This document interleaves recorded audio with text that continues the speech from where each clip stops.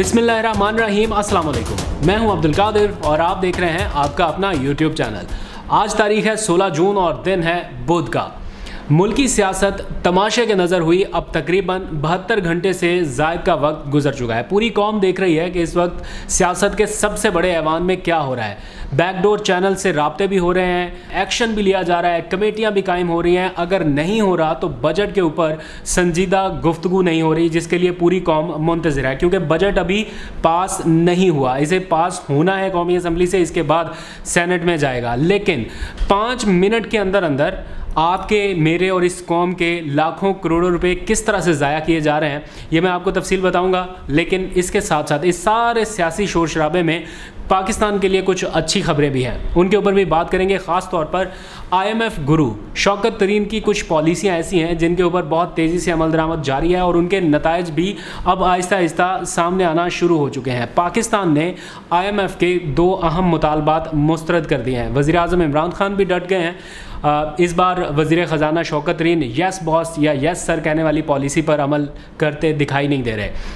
पाकिस्तान की आवाम के लिए स्टैंड लिया गया है और दो अहम मुतालबे जो आई एम एफ़ कई हफ्तों से पाकिस्तान से मनवाने की कोशिश कर रहा है, वो पाकिस्तान मानने के लिए तैयार नहीं है। उसकी तफसील भी आपको बताऊँगा और साथ ही एक नई पॉलिसी पर अमल दरामद होने जा रहा है, जिसके नतीजे में टैक्स चोरों की शामत आने वाली है। बहत्तर लाख अफराद का डाटा हुकूमत ने तैयार कर लिया है और अब जो टैक्स नहीं देगा या टैक्स टैक्स छुपाएगा, जिसका खुमियाजा आपको और हमें भुगतना पड़ता है, फिर बाद में उसकी गिरफ्तारी यकीनी बनाने के लिए हुकूमत ज़बरदस्त इकदाम कर रही है। वो सारी तफसील आपको बताऊँगा, लेकिन क्विकली थोड़ी सी बात कर लेते हैं आज के हॉट टॉपिक पर यानी कौमी असम्बली में जारी हंगामा आरई की, जो बहत्तर घंटों के बाद भी थमने का नाम नहीं ले रही। गुज्त रोज़ के ब्लॉग में मैंने आपको बताया कि ये पार्लिमान इस सियासत का सबसे मुकदस ऐवान है, लेकिन बहुत सारे लोगों ने पूछा कि ये मुकदस ऐवान क्यों है आखिर? इसमें ऐसा क्या है जो हम इसे मुकदस ऐवान कहें? इस मुकदस ऐवान में तो गालम गलोच हो रही है। गालियाँ देकर कहा जा रहा है, ये तो पंजाब का कल्चर है। और उसके ऊपर निदामत भी कोई नहीं हो रही। वो एक बहुत मशहूर मिसाल है ना, पंजाबी की, नानी ने खसम किया बुरा किया कारगत छाट देता और बुरा किया वही हिसाब किताब इस बार भी हो रहा है। एक तो आपने गालम गलोच की, फिर आप जस्टिफाई कर रहे हैं कि ये पंजाब का कल्चर है। ये किस किस्म का बेहुदा कल्चर है जो आप मुकदस ऐवान में लेके आ रहे हैं? तो मुकदस ऐवान वाली बात वो जिसने कॉमेंट सेक्शन में कही थी कि इसे मुकदस ऐवान ना कहा जाए तो वो मेरा ख्याल है कहीं ना कहीं दुरुस्त है। हम क्यों कहें इसको मुकदस ऐवान, जहाँ पर हमारे और आपके टैक्स पैसे की कोई हिफाजत ही नहीं है?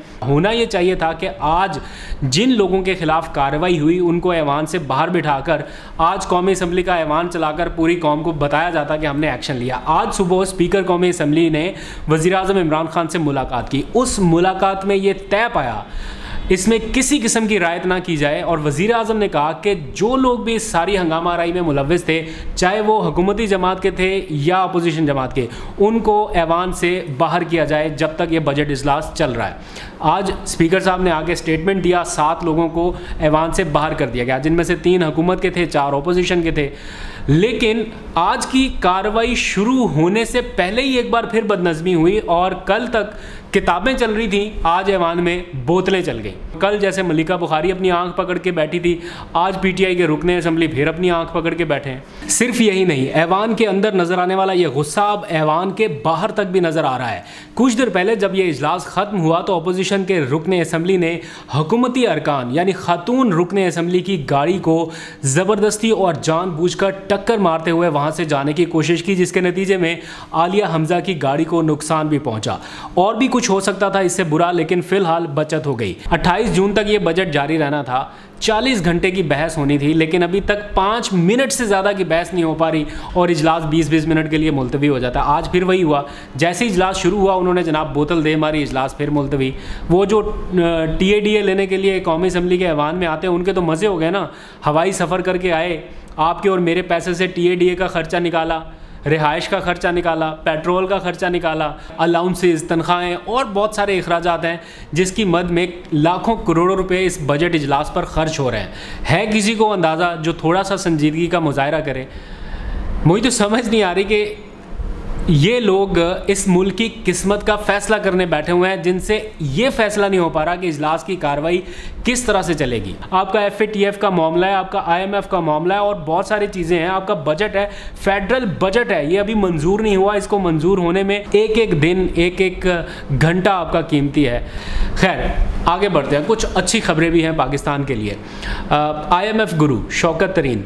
इनको आईएमएफ गुरु इसलिए कहा जाता है क्योंकि आईएमएफ से डीलिंग का, इनका एक अच्छा खासा बैकग्राउंड है। इनको मालूम है कि किन टर्म्स एंड कंडीशन पर आईएमएफ के साथ बात करनी है और कहाँ पर जाकर आपको स्टैंड लेना चाहिए। जो सबक वज़ी ख़जाना थे, हफीज़ शेख साहब, मैं कोई बुराई नहीं कर रहा, वो चले गए अब, लेकिन उनकी एक पॉलिसी थी यस सर और यस बॉस वाली। आईएमएफ ने जो भी कहा उन्होंने एज इट इज़ कन्वे किया प्राइम मिनिस्टर इमरान खान को और उन्हें भी कहीं ना कहीं कन्विंस करने की कोशिश में लगे रहे कि जो आईएमएफ कह रहा है हमें मान लेना चाहिए वरना हम तबाह हो गए। और उसी प्रेशर में पाकिस्तान ने पिछले कुछ ढाई सालों में कई ऐसे फैसले किए जो वज़ी अजम इमरान खान करना भी नहीं चाहते थे और ना चाहते हुए करके उनका नुकसान उठाना पड़ा। सियासी तौर पर भी मुआशी तौर पर भी और अवामी तौर पर भी आ, उसका रद्दमल सामने आया। लेकिन अब आईएमएफ एक बार फिर पाकिस्तान से दो मुतालबात का तकाजा कर रहा है। उनमें से नंबर वन है, बिजली की कीमतें बढ़ाएँ क्योंकि सर्कुलर डेट बहुत ज़्यादा है और उसको कवर करने के लिए आईएमएफ का ये मानना है कि पाकिस्तान को बिजली की कीमतों में इजाफा करना होगा। और दूसरा मुतालबा है कि अपने टैक्स नेट को बढ़ाने के लिए टैक्स बढ़ाया जाए।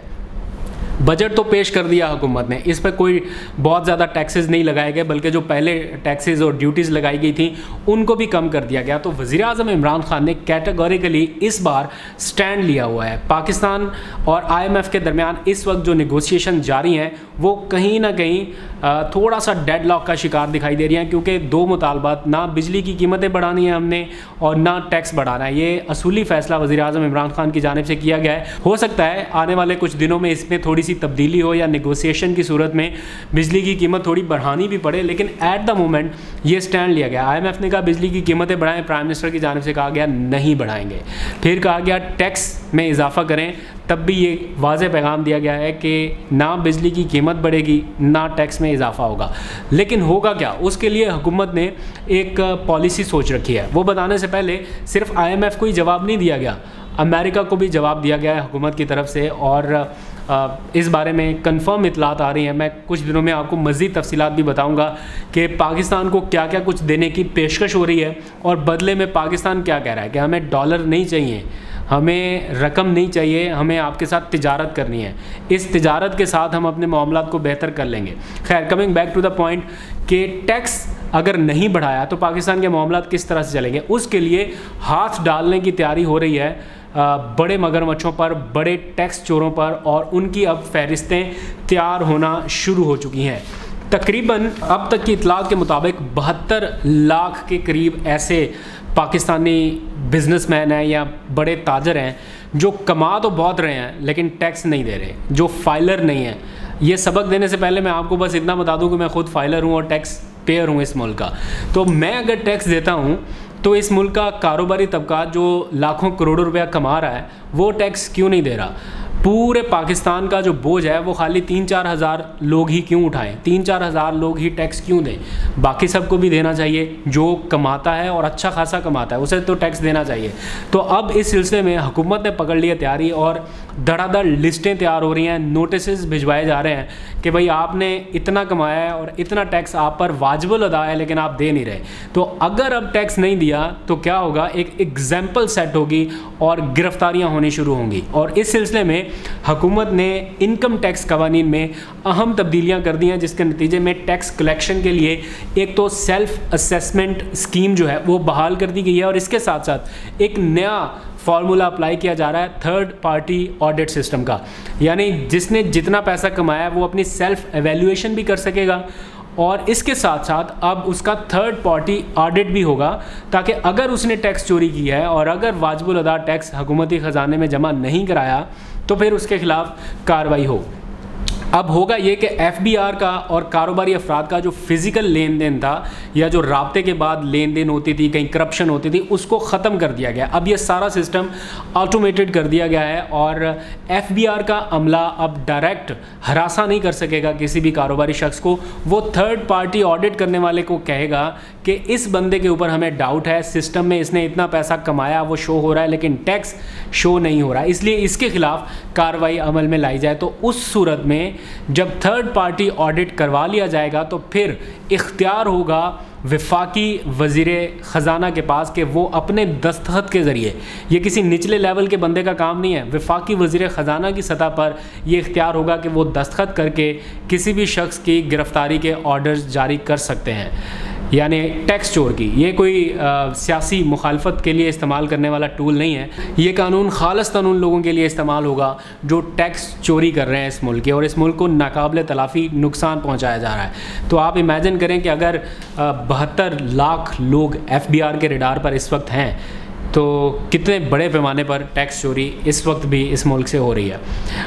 अब जब भी बिजनेसमैनों के ऊपर हाथ डालने की कोशिश करती है हुकूमत तो एकदम से सारे इकट्ठे होते हैं, और कहते हैं जनाब, इस मुल्क का कारोबार तबाह कर दिया, हम पर हाथ डाला जा रहा है, कभी नैब को पीछे लगा देते हैं, कभी एफबीआर को पीछे लगा देते हैं, फिर कुछ बिजनेसमैन का ग्रुप किसी और तरफ़ भी रबता करता है। आप समझ गए होंगे, मैं किस जाने भी इशारा कर रहा हूँ, फिर वहाँ पर जाकर मिनते तरले की जाती हैं कि बचाओ जी हुकूमत हमारे पीछे है। तो अगर इस सारे झंझट से बचने के लिए जो एक फेयर टैक्स पॉलिसी है, उसके ऊपर अमल दरामद कर लिया जाए तो इसमें क्या हर्ज है? आवाम का भी फ़ायदा हो जाएगा, आपका भी फ़ायदा हो जाएगा। खैर, पाकिस्तान के लिए एक बहुत बड़ा एजाज़ है। पाकिस्तान को आलमी सतह पर एक नुमाइंदगी मिली है। उस हवाले से मैं इन्फॉर्मेशन कल आपसे शेयर करूँगा। पाकिस्तान आलमी सतह पर जो कोशिशें कर रहा है, उसको रिकगनाइज़ किया जा रहा है। और एफ़ के हवाले से भी कुछ अहम अपडेट्स हैं, मैं कल के ब्लॉग में आपसे शेयर करूँगा। आज तक के लिए इतने। इजाज़त दीजिए। खुदा हाफिज़।